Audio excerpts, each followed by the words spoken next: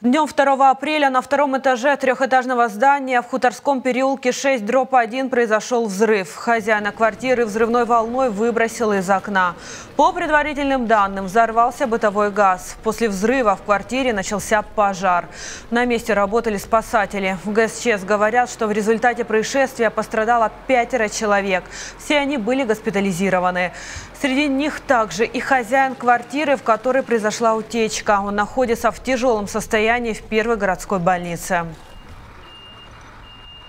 По прибуттю на місці о 14 годині 49 хвилин було з'ясовано, що в будинку, який має три поверхи, два під'їзди, 24 квартири, пройшов вибух попереднього газу на другому поверсі, в результаті чого було зруйновано перекриття між другим та третім поверхом. Структурними підрозділами було створено дві оперативні дільниці, евакуйовано 15 мешканців цього будинку та із е, викликано карету швидкої медичної допомоги і відправлено каретою 5 чоловік пострадавших. На даний момент, ось ви бачите, один дідусь, який пострадав, йому надана психологічна допомога, він оглянутий лікарями і повернутий назад.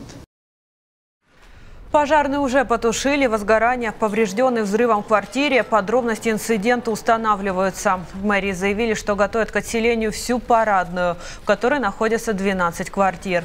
Жильцов переселят в дом Павловых. Люди испуганы и пока не знают, что делать дальше.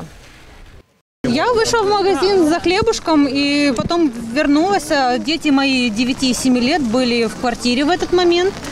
Я зашла, поставила хлеб на стол и взрыв очень сильный, очень громкий, четкий. Я сначала подумала, может, у кого-то шкаф упал.